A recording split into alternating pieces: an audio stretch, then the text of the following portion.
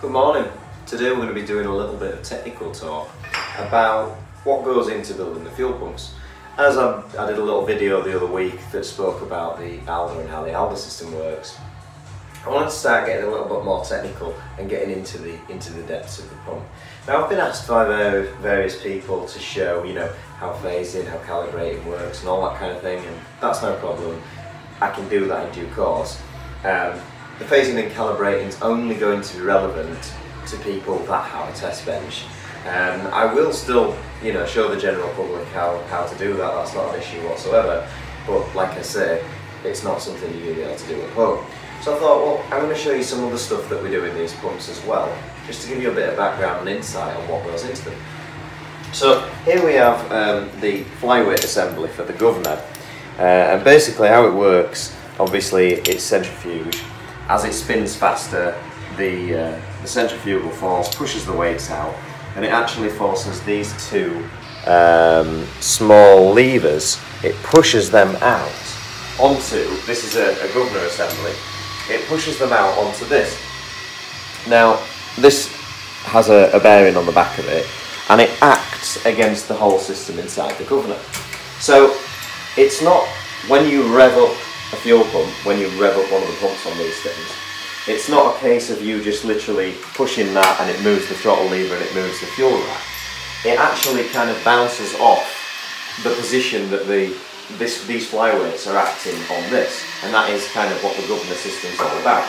Because if you think about it, um, without that, what would happen as the RPM increased, uh, it wouldn't stop and it would continue going up and up and up and your engine would explode.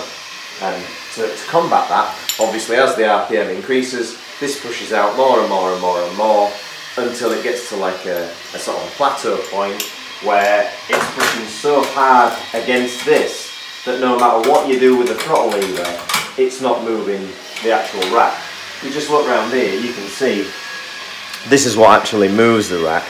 And when there's no pressure on this, when there's no pressure on that, that moves, uh, you know, fairly freely.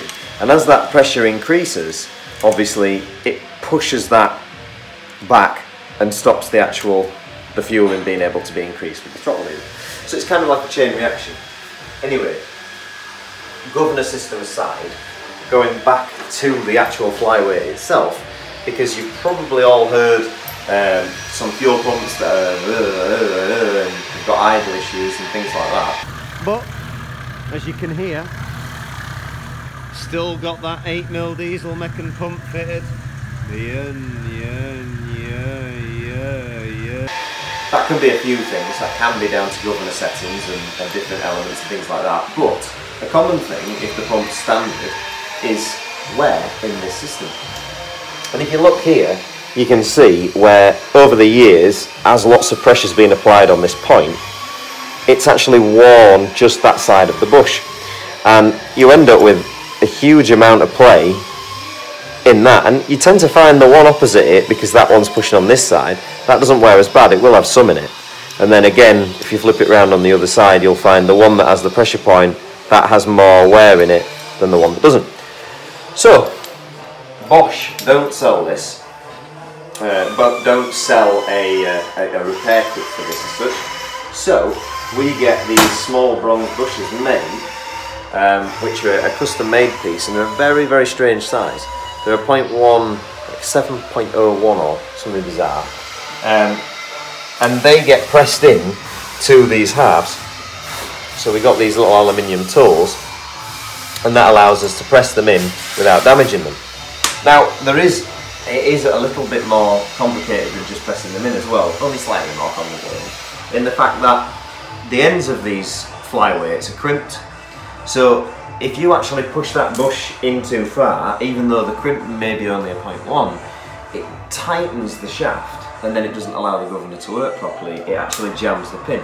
So this little device here sits in the end and it stops that bush, it has a little step on the end, and it stops that bush being able to be pushed through and then crimped on the end.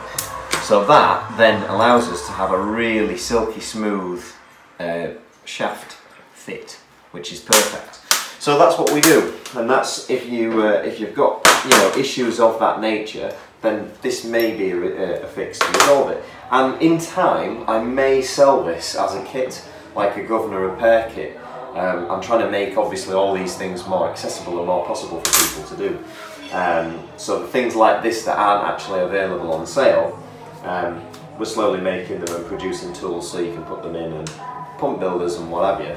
But a little bit of insight into the into the flyweights, the governor system and how it works. Obviously, it's a lot more complex than that.